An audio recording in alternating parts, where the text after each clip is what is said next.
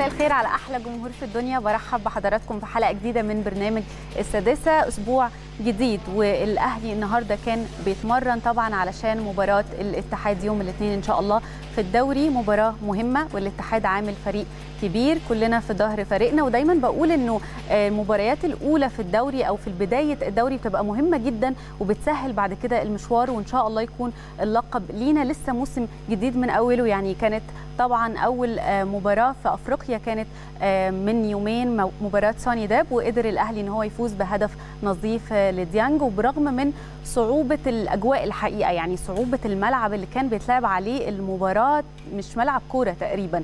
ومع ذلك الأهلي الحقيقة كان بيأدي أداء كويس وقدرنا إن إحنا نفوز. ودايما بشوف إنه فكرة الصعوبات دي اللي بتواجه الفرق في البطولة الإفريقية بتزيد من من أهمية وقيمة الفوز ببطولة دوري أبطال أفريقيا. يعني غير الصعوبات أو التحديات اللي الفريق بيواجهها في المباراة نفسها بيبقى فيه دايما تحديات تانية ليها علاقة بدرجة الحرارة بالملعب زي ما شفنا بالأجواء بشكل عام وكمان طبعا كورونا. يعني ظروف كورونا اللي جاية على الكورة بشكل عام أو على الرياضة وعلى العالم كله.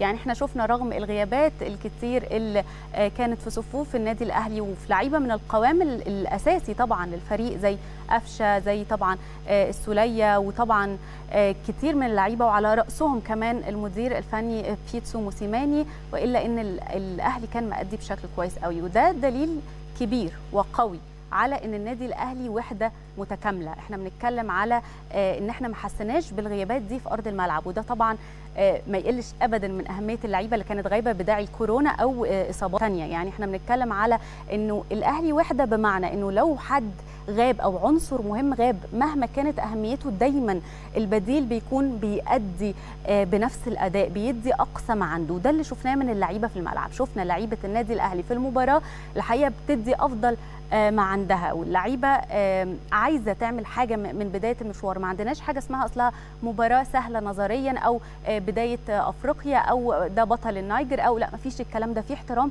للخصم طول الوقت مهما كان مين الخصم ده. مهما كان فريق كبير قوي في أفريقيا ولا مش كبير قوي. كل ده الحقيقة بيزيد من قيمة النادي الأهلي اللي دايما بيبقى دارس الخصم أو المنافس كويس قوي.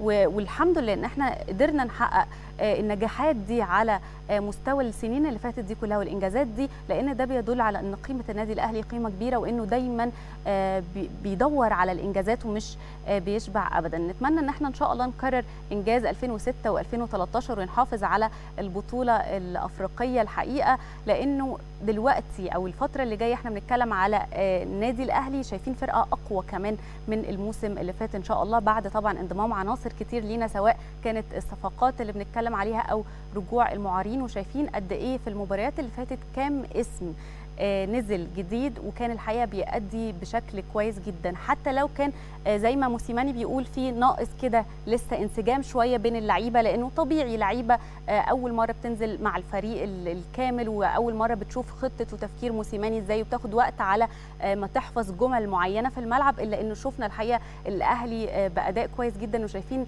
كتير من الأسماء فارقه جدا مع النادي الأهلي من ساعة سواء رجوعها من الإعارة أو الصفقات الجديدة ومنهم طبعا محمد شريف. مش عايزة أكيد أنسى حد لأنه كتير من اللعيبة بتأدي أداء كبير ولكن محمد شريف يمكن كان عليه العين الحقيقة في المباراة اللي قبل اللي فاتت والأداء القوي اللي ظهر بيه وقد إيه طمن الناس والجماهير بشكل كبير إنه الهجوم في النادي الأهلي في لاعب قوي جدا طبعا بالإضافة لكثير من اللعيبة اللي كانت موجودة بالفعل. وطبعا بالمناسبة يعني عايزة أقول لحضراتكم كمان إنه خلاص مروان محسن رجع التدريب النهارده وكمان وليد سليمان وحسين الشحات بعد التعافي من الإصابات المختلفة اللي كانوا بيعانوا منها. في كلام كتير طبعا عن تدريب النهارده وعن لعيبة النادي الأهلي. هيكون كمان معانا مراسلنا كريم أحمد بعد انتهاء تدريب النادي الأهلي لكن هنروح لفاصل ونرجع نكمل حلقتنا.